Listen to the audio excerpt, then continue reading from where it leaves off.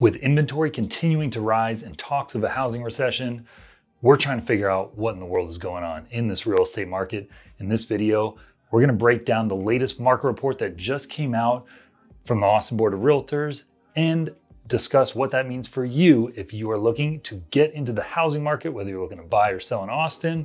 Stay tuned.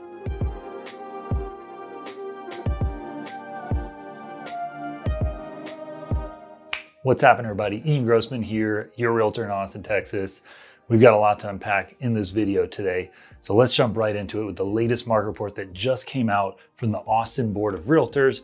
We're going to focus on the Austin area report. So the median sales price just came out 515,000. Now this is the second month in a row that we have seen that sales price drop from the high of 550 just a couple months back.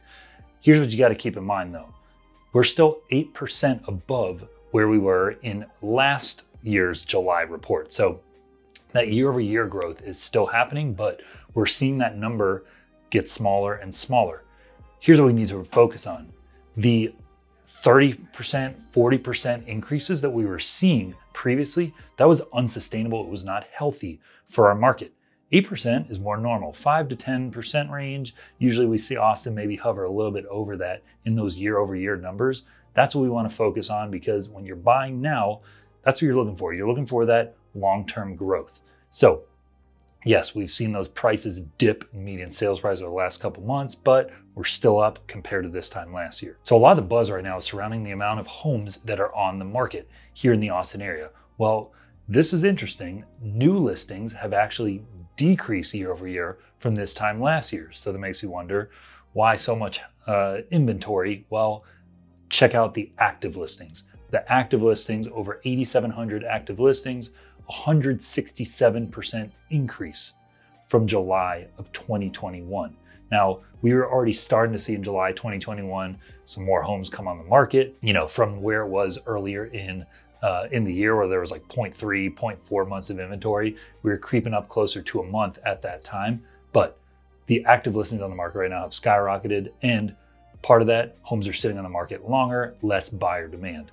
We see the average days on market up to 22 days. That was up from up 10 days from last year at this time, where homes were sitting on the market for an average of 12 days. So if you didn't get it in the first week or two, it wasn't there anymore. Here's another interesting one. Pending sales are down. They're down 25% year over year. Why? Back to the demand uh, aspect. We know that mortgage rates have continued to increase from the beginning of the year. However, if you're watching this around August, when we're releasing mid August, when we're releasing it, the interest rates have kind of stabilized. Yes, we have seen the Fed interest rate hike. We saw a big one in July, uh, sorry, a big one in June, a big one in July, but mortgage rates have somewhat stabilized. We're still hovering in that low to mid 5% range. Sometimes it ticks a little bit up closer to six, but it is lower from where we were a couple months ago uh, when they peaked at 6% plus. So this is a combination. Yes, buyer demand has softened. More homes are sitting on the market. We see that not as many homes came on the market compared to this time last year. More homes are sitting. There's more homes out there for buyers to choose from. Months of inventory, 2.7 months. So if you are looking now, you have three times as many homes as you had to look at last July. That is huge if you're a home buyer in this market. It's actually a breath of fresh air. Yes, you are paying more from the increase in home prices from last year and interest rates, but finding a home, not competing against a million other buyers, not conceding all of your uh, you know your contingencies whether it's appraisal inspection all that kind of stuff you're not having to do that as a buyer right now which is really huge if you're a buyer looking in this market, you know, we've given tips in other videos um, about what we're seeing, how buyers are winning in the market. And keep in mind, rising interest rates, there is a way to combat that or ways at least take some of that pain away. And that is in the form of buying your rate down.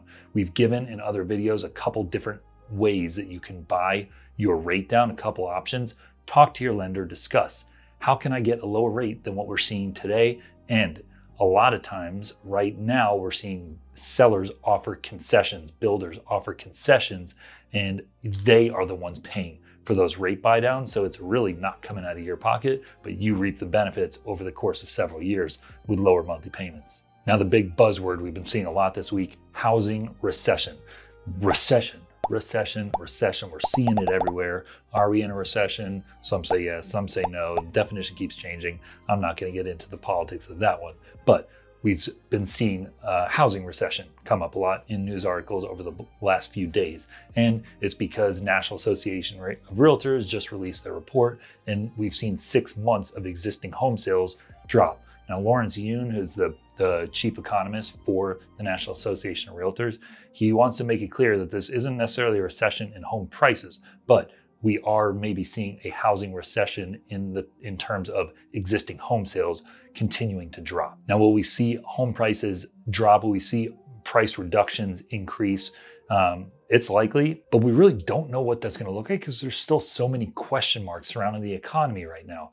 Um, are there going to be massive layoffs? Are companies going to start cutting jobs, therefore leaving people in a position of a they can't afford where they're living, they need to sell their house? Are we going to see this massive influx of properties coming on the market? That's still to be determined. Um, but when you're focusing here, specifically in Austin, Texas, we are not recession proof, but we handled the last recession a lot better than a lot of surrounding cities. Yes, home prices have skyrocketed here, up median sales price being almost $200,000 higher now than it was two years ago. So, again, we're going to see more of that stabilization and maybe more regular growth in the in the market here. So if you're a buyer in the market right now, not only do you have more options in resale, but some interesting uh, statistics we're seeing on the builder side. Builder confidence has dropped now for eight straight months, and they are seeing the effects of this big time. I've had buyers that have decided uh, that were under contract on new construction. The home wasn't done, the home was delayed, and they've decided to cancel their contracts get out of it and start looking for something else that they can maybe spend less on and that meets their timeline a little bit better. That is pretty common now in this market that buyers are exploring that. But here is an interesting statistic builders have now seen traffic drop to levels that they haven't seen since 2014. So levels were around this low right when the pandemic hit and like no one was doing anything going anywhere, but we'll take that out because that's an outlier. 2014. So eight years ago is when builders saw traffic as low as they're seeing it right now. So you can look at this in a couple ways. And this is not me saying that you need to go out and buy a house right now. This is the best time for you to do that.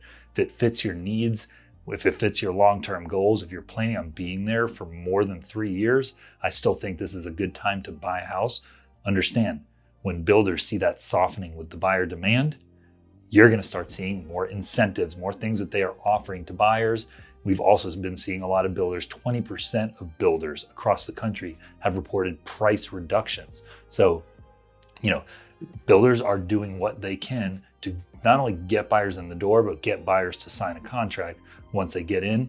So look at that as an opportunity if a new build is what the route you're going, or if it's resale and you want to be in a house, you want to be a homeowner, you know, waiting for a year, maybe maybe just maybe prices will go down. But if you're going to be there for a long term, lock in what you know today because you might be kicking yourself in a year from now if the market re- rebounds and prices start going back up drastically again. So hope this video was helpful to you. I will put the link to all the different market reports for the different counties, for the city of Austin.